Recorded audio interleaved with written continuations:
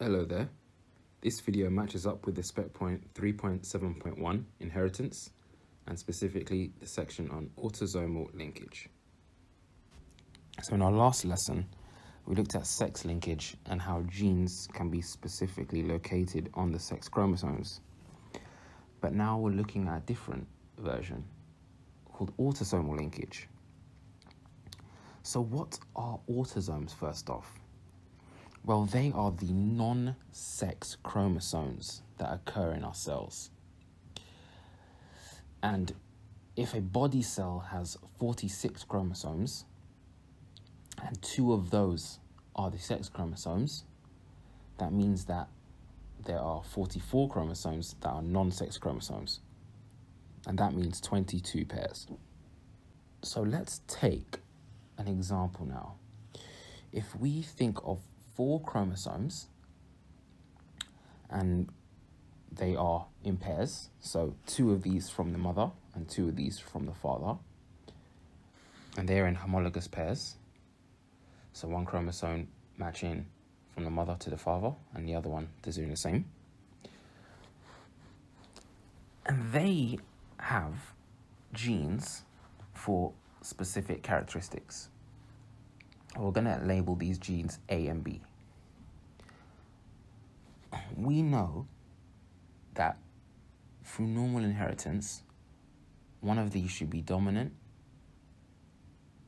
and one of them should be recessive. Now, what we're saying is that these genes are on separate chromosomes. So, what we're describing these as are not linked. These genes are not linked. this means that if you were to do a cross of these genes, we can get four possible outcomes. We'll have capital A, capital B. We'll have lowercase a, lowercase b. We'll have lowercase a, capital B. And we'll have capital A, lowercase b. So four possible outcomes from these four non linked chromosomes. And the ratio of getting all four outcomes is 1 to 1 to 1 to 1, so equal. And this is how variation exists, because during crossing over and during independent assortment, these chromosomes can match up into a variety of different combinations. However, let's take an, a scenario where these genes are on the same chromosome. So we're saying now that A and B are on the exact same chromosome. This creates a different outcome. So if we were to take the gametes from these different chromosomes now, we can only get a certain combination. From our larger chromosome here, the combination we can get is only capital A, capital B. And from our smaller chromosome, it's lowercase a, lowercase b. So now we're describing these genes, A and B, as linked. Now, this scenario of genes being linked does exist in real life. And the best example of that is with an organism called Drosophila melanogaster. And this is the common fruit fly. So when you may have left some fruit, fruit out for too long, you'll probably see some flies that come around it eventually. And this is the fruit fly. And this fruit fly is actually a model organism, meaning that it has genes which are very common and very similar to humans. So it's studied in research. Now, what genes are we interested for the fruit fly? We're looking at the body color and we're looking at the wing size. So,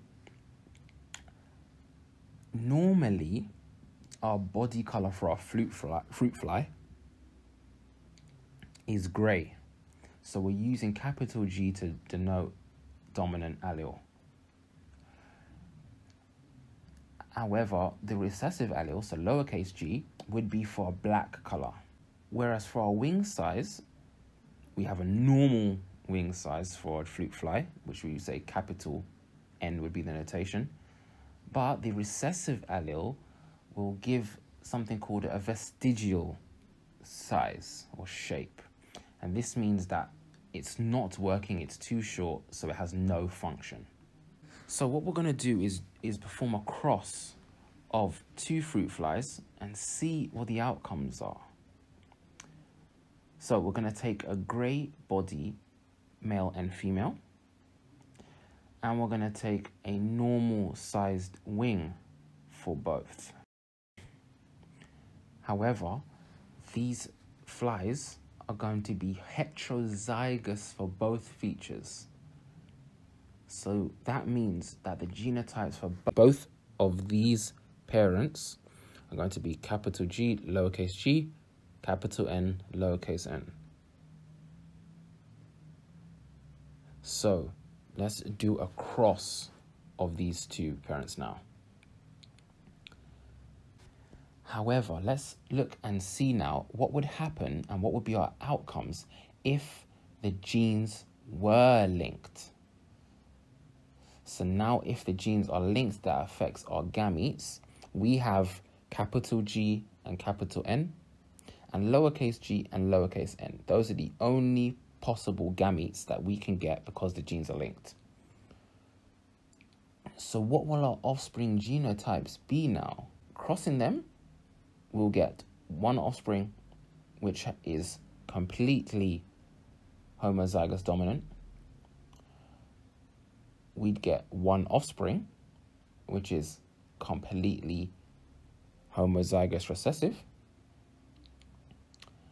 But we'd get two offspring which are heterozygous for both characteristics. But based on our phenotypes now, that should mean that we'll get three offspring which are grey normal and one offspring which is black and vestigial. So that means that the ratio based on gene linkage here is 3 to 1.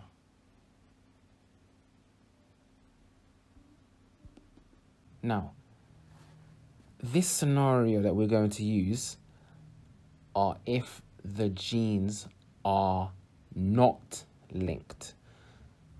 So they are not appearing on the same chromosome. If we were to do this now,